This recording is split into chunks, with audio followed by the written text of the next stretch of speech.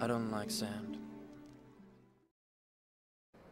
When you think about Star Wars, have you ever wondered or thought about what you would be in the Star Wars universe? You could be a bounty hunter. Maybe you want to become a Jedi. Maybe if you're force sensitive. Or maybe you would join the Sith. Or something in between. Maybe you would join the Imperial forces uh, and serve in the army. Or maybe you want to be some kind of trader. Or uh, own your own store somewhere on Coruscant.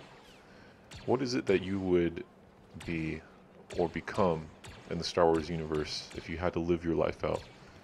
What path would you take? Not like here. Here everything is soft and smooth.